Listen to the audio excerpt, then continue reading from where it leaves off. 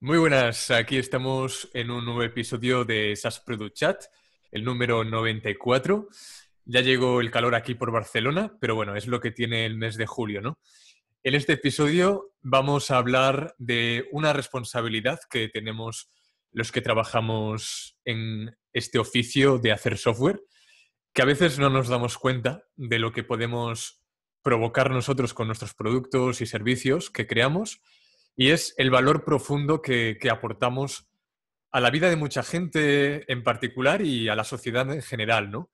Y para generar este valor real hay que centrarse en aportarle valor al usuario o que el usuario perciba valor, ¿no? Y para ir directos al grano, nos hemos ido a un artículo de Folk, un CRM personal, que tiene una referencia muy clara a esto de generar valor y vamos a utilizarlo como guía para esta conversación que voy a tener, pues como cada jueves, con mi colega Claudio Cosío, que ya está desde la Ciudad de México. ¿Cómo te trata la vida, Clau? Bien, aquí andamos. Este, bueno, nosotros seguimos en una fase de nunca salir. Este, entonces, bueno, eh, hacemos lo que podemos. Contento de que ya es el veranito. Aquí significa lluvia. Entonces, bueno, está un poquito medio nubladón el día de hoy. Eh, pero bueno, mal tiempo, buena cara. Eh, es jueves, ya casi es fin de semana y sobre todo pues me toca echar la platicada contigo eh, y hablar de algo muy importante, ¿no? O sea, el, creo que muchas veces la gente no, al crear o cuando estamos creando un producto, no podemos, no hacemos una distinción de qué tipo de producto estamos creando, ¿no? y este artículo lo, lo, desmenuza muy, muy bien, ¿no? Me gustó mucho el, su analogía de de field y empty products, ¿no? O sea, productos que están, que en sí ya están, que están vacíos, ¿no? Que hay que llenarlos y aquellos productos que ya están llenos, ¿no? O que ya tienen sustancia. Entonces, este, creo que, que el, founder de Folk lo, lo, describe muy bien y después entra, lo desmenuce y entra mucho a detalle, ¿no? Eh, algunos como son uh, data driven y ya hablaremos más de esto el día de hoy, ¿no? Sí, yo quería empezar, Klaus, si me permites, con una reflexión, porque creo que no soy el único que cree que la tecnología va acaparando pues muchos elementos de nuestra sociedad y cultura a nivel global y los que nos dedicamos a este oficio, ¿no?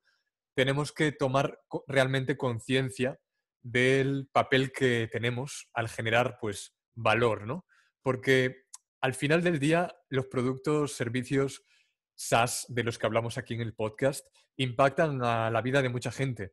Y, pero bueno, para generar este valor con el software, primero tenemos que entender el mercado, las necesidades del usuario, pero también tenemos que entender la máquina, el producto por dentro. Es muy importante para mí que la persona que dirija una empresa, un producto y una empresa que se basa en software, que corre en líneas de código, sepa de producto. Si sabe programar mejor, porque le va a ayudar a entender con mayor granularidad seguramente qué es lo que ocurre en los sistemas por detrás. Y esto me lleva al artículo porque, a ver, no todos los productos digitales están creados iguales, esto ya lo sabemos, pero la distinción que hace, la que tú comentas, Clau, eh, es interesante. Vamos a definir un poco y a entrar en detalle a lo que es field, lo que es lleno. Es decir, hay un requisito previo para entregar valor al usuario y esto, este requisito previo es que necesitamos integrar datos externos en el producto. Es decir, eh, nuestro producto tiene una serie de integraciones, una serie de importaciones y de funcionalidades para importar data externa que eh, es core del producto. Entonces, ejemplos de esto pues son herramientas de mensajería como Front o ahora mismo que está también muy popular Hey, o herramientas de visualización de datos como Tableau o Data Studio. Es decir, desde el día uno, estos productos integran todas las fuentes de datos que necesites con la misión esta de entregar valor al usuario. Em, y por el lado de los productos que son field, em, pues tienen que tener esto muy en mente para que en cada etapa del desarrollo eh, pues será diferente, ¿no? Porque realmente eh, no sabemos cómo va a evolucionar la data de un usuario o el contenido de un usuario. Entonces, es importante esta distinción. Y por otro lado, ya te doy la palabra, Clau, es los productos vacíos, los que mencionabas, que son productos que el su, valor reside en la manera en la que el usuario crea contenido dentro de ese producto. Realmente, inicialmente no hay integraciones, aunque como veremos más tarde, sí que se desarrollan y se, de hecho, hay funcionalidades interesantes dentro de Empty Products con APIs e integraciones, pero inicialmente el usuario es el que llena el producto de datos, es decir, aplicaciones de notas como Notebook o Notion o herramientas de manejos de proyectos como Asana o Trello, ¿no? Sí, o sea, Rome Research es un gran ejemplo también, ¿no? Em, ahorita que se están, están head to head. Este, también InVision, ¿no? Es un gran ejemplo de, de, de cómo son eh, empty, em, empty products y sobre todo que qué es lo que lo distingue, qué es lo que los hace que tengan éxito, ¿no? Si tú tienes un, producto donde es necesario que el usuario genere ciertas actividades o, actividades clave para que obtenga el valor de, tu, de, de, de, las, las diferentes funcionalidades, eh, es importante el onboarding, ¿no? O sea, y creo que en, empresas como Notion, ¿no? Como Rome Research. Rome Research no tanto, siempre es un, es un producto complejo, pero han podido aterrizarlo muy bien. Su onboarding a mí me ha encantado. Igual que el de Notion. Eh, son productos que están llenando ese espacio que dejó Evernote, ¿no? Ese gran eh, eh, zombie, unicornio zombie, ¿no? Este, bueno, yo utilicé Evernote durante mucho, mucho tiempo, ¿no? De ahí ellos tuvieron un problema que y que eso es importante, ¿no? O sea, ellos, es importante que tu producto conserve, por lo menos en unas, en, en, durante una etapa donde vayas a tener product market fit, conserve esa noción. ¿Eres empty product o eres filled product, no? ¿Por qué? Porque si no te pasa lo de Evernote, ¿no? O sea, Evernote inició obviamente como un empty product donde tú le metías tus notas, le metías tus notas, le hicieron muchas funcionalidades que permitían que Evernote tuviera mucho potencial o, mucho valor con features de, un producto, de un empty product, ¿no? De un, de un producto vacío. ¿Por qué? Porque te generan una funcionalidad de OCR, ¿no? Donde tú puedes escanear todo, tomar una foto a tickets, se sacaban el OCR, lo metían ahí, lo hacían una nota, le puedes poner este, eh, eh, labels y todo esto. Inclusive sacaron una integración eh, analógica con, este, con, con Moleskin, ¿no? Uh, hace años, ¿no? Donde tú básicamente con, sacabas que iba alineado a su funcionalidad, a su funcionalidad de OCR, ¿no? Entonces, bueno, ese es un, ejemplo ahí de, de, de qué no hacer, ¿no? Pero al final es importante que tú tengas, siempre seas muy consciente, o sea, cuando estás haciendo funcionalidades, lo estás haciendo porque tu producto es un empty product o es un filled product, ¿no?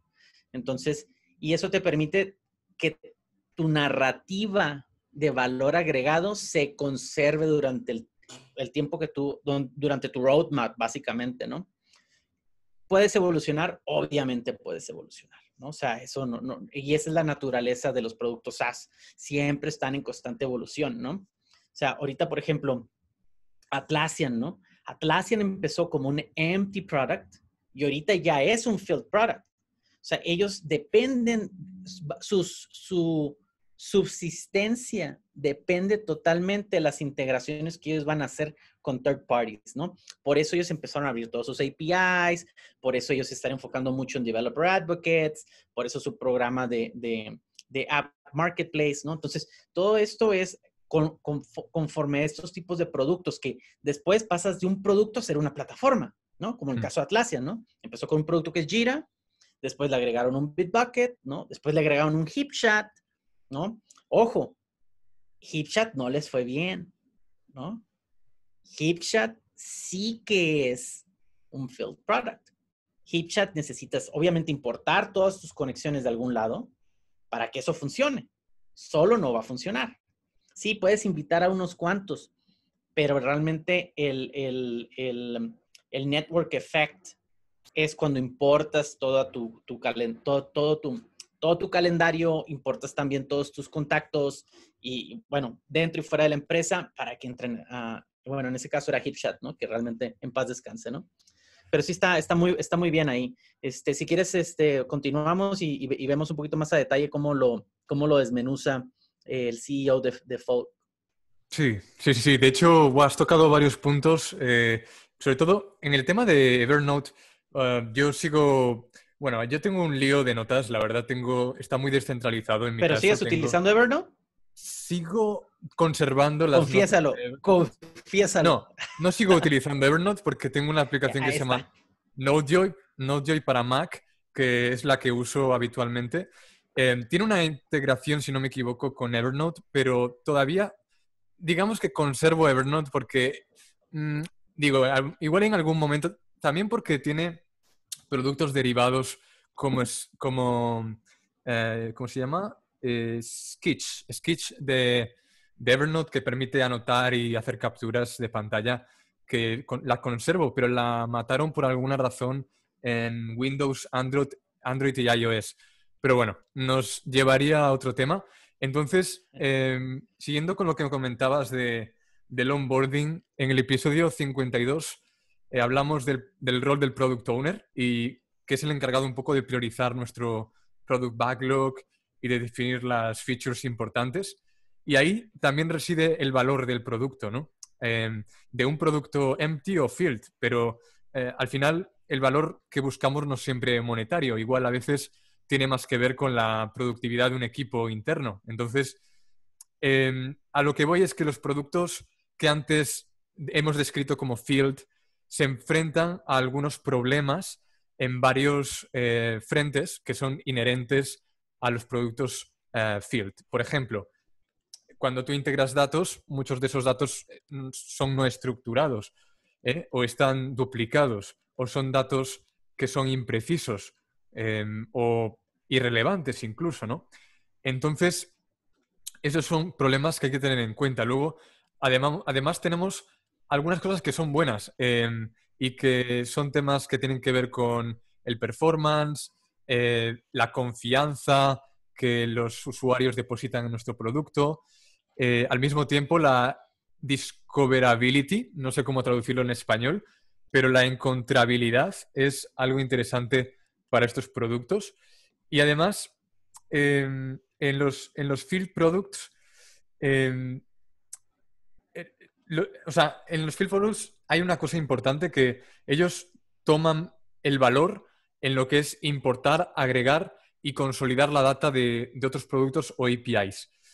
Pero también, como mencionabas, es importante el onboarding porque, ok, tenemos que, em, o sea, cuando nosotros usamos un field product, el producto ya está, digamos, eh, ya se nos presenta hecho, los datos están ahí pero el onboarding es importante para presentar bien el producto. Cuando termina el onboarding, luego ya sí que toda la data está ya operativa y nosotros ya podemos funcionar con normalidad.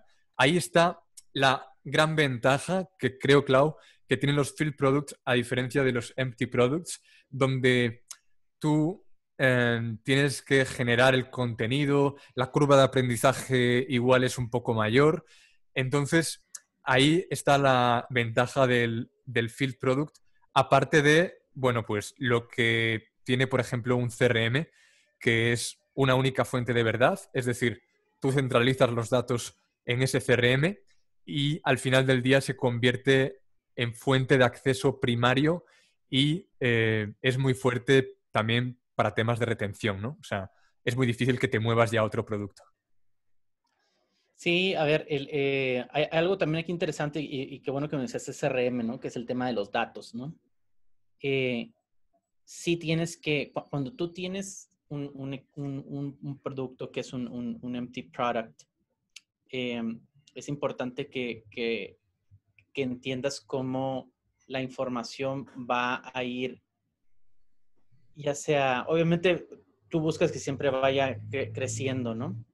Pero esto trae sus retos, ¿no? O sea, cuando la información no es fiable, ¿no? O sea, tú de cierta manera tienes que garantizar que la, veracidad de esa información, porque va a ser tu single, uh, um, single point of truth, ¿no? O sea, oye, si es un CRM y es el CEO de, de, un partner tuyo, tú esperas que el email que esté en el CRM sea su email, ¿no? Tú esperas que su celular o el, o el teléfono de su asistente sea, esté actualizado, ¿no? Entonces aquí es donde es muy importante que, la información sea veraz, sea relevante la información, o sea, eso quiere decir que esté actualizado y por ende heterogénea, o sea que, entonces, e, es, es, un, es un reto súper súper bueno, ¿no? O sea, al final tú tienes que ver, tú tienes que entender que la información que vas a estar almacenando tiene caducidad. Tú tienes que permitir que el usuario, quien es que se encarga de la veracidad de esta información, porque realmente no es tu producto, es, oye, eh, este, este, este, este contacto, el CRM ya tiene seis meses aquí. ¿Es relevante o no relevante? ¿Deseas archivarlo? Porque todo esto es performance también, ¿no? Para tu producto. O sea, no, no lo quieres mantener ahí indefinidamente. Y obviamente quieres mantener en caché todo lo más reciente. Entonces tú tienes que ayudar para que te ayuden a mantener la información sana, ¿no? Se podría decir.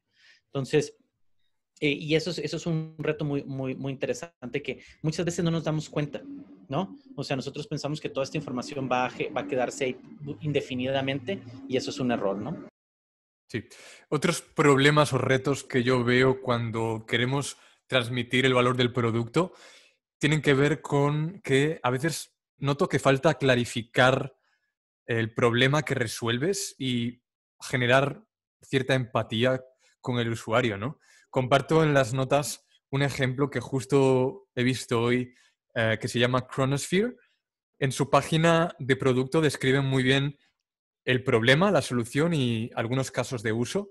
Y ya, eso es todo, eso es su página de producto, ¿no? O sea, son tres bloques claramente diferenciados y a mí ya me entran ganas de probarlo y, veo, estudiando evidentemente un poco más el producto y entrando en detalle, porque esto de Chronosphere, no sé si tú, a ti te suena, Clau, pero estos eh, fueron los creadores de eh, DM3, que era una plataforma que servía para acceder a las métricas generadas en el backend em, en Uber.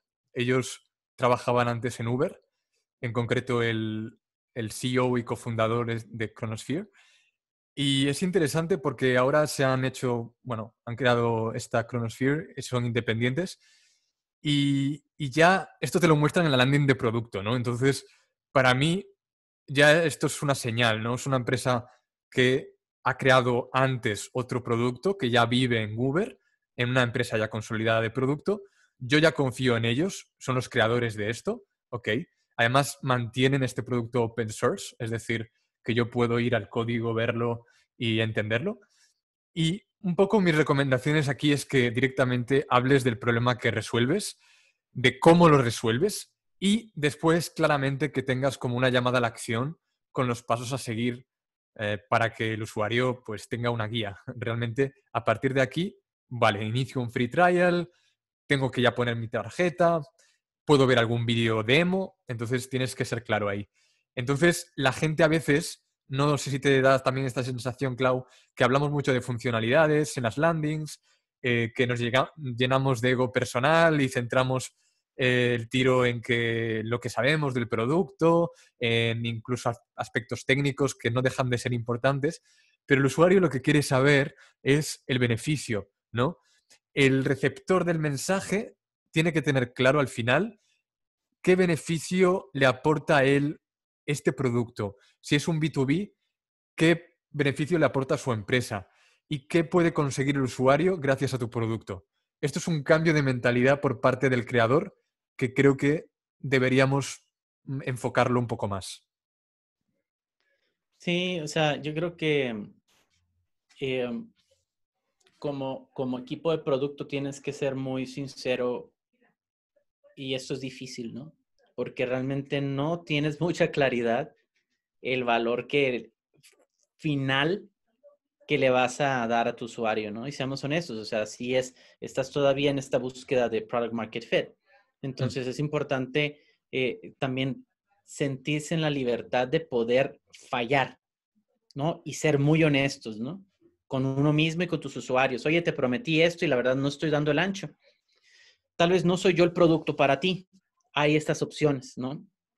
Sí, en las landing pages nos falla mucho eso. Nos centramos en ah, que esto es descentralizado, que esto está distribuido, que esto es infinitamente escalable, que esto es más barato, ¿no? Que esto es más bonito, se ve mejor, mejor usabilidad, cuando realmente el usuario lo que busca es cómo resuelves mi problema. ¿No? O sea, cómo y el, y el, y cómo, lo cómo mejoras mi experiencia día tras día al usar tu producto, ¿no? Y creo que eso es muy valioso. También ser honestos, ¿no? Si no lo tienes, pues, eh, ojo, hay que hacer más user research, hay que hacer eh, más customer discovery, hmm. ¿no? Si los usuarios que tienes actualmente no, estás cumpliendo con, no están cumpliendo con tus expectativas que tú tienes de usuarios finales para tu producto, búscalos, corre, corre, despide a los actuales, no te quedes con ellos. No trates de encontrar una verdad que no es para ti, ¿no? Entonces, ser muy honesto con, uno mismo, entender, y esta analogía de, producto lleno y vacío creo que son, es muy buena, ¿no? Y qué tanto, qué tanto, la facilidad de descubrimiento de tu producto siempre va a depender de qué tan, de la narrativa que tú tienes alrededor de la información que tú estás capturando, cómo estás transformando eso en valor hacia tus usuarios y por ende resolviendo sus necesidades, ¿no? Entonces, eh, eso es un punto oh, muy bueno que acabas de, traer. Y sí, sí es cierto, no, no lo he visto yo mucho. O sea, creo que son muy contadas las empresas que tienen, que tienen eso directamente en su landing page, donde la propuesta de valor es clarísima y donde están muy, muy claros hacia quién, quién es su tipo de, de usuario, ¿no? Y ya por último, yo apuntaría el tema del feedback. Me parece que un ejemplo de empresa de producto que hace esto muy bien y lleva ya unos años es Stripe, que es una empresa de producto que lleva el solicitar el feedback totalmente en su ADN. De hecho, aún tengo grabado, Clau, la anécdota que yo creo que coincidimos en esa PlatziConf de México de 2016, de, de Patrick Collison, cómo se paseaba por ese salón recogiendo feedback, hablando con gente del equipo del Team Platzi que trabajaba más en la parte de finanzas. Tenía un apetito por, recoger ese feedback todo el tiempo y esto también lo noto yo en otras conferencias técnicas donde muchos desarrolladores de Stripe ¿no? se interesan mucho de cómo están funcionando pues, los desarrollos, las APIs, eh, toda la parte de infraestructura. Y también tienen desarrolladores evangelistas ¿no? que, que procuran pues, pasar mucho tiempo eh, eh, pues, con otros desarrolladores, reuniendo feedback para ver qué necesita ser mejorado, llevarlo luego al equipo internamente y convertir ese feedback en algo real que impacte en el usuario.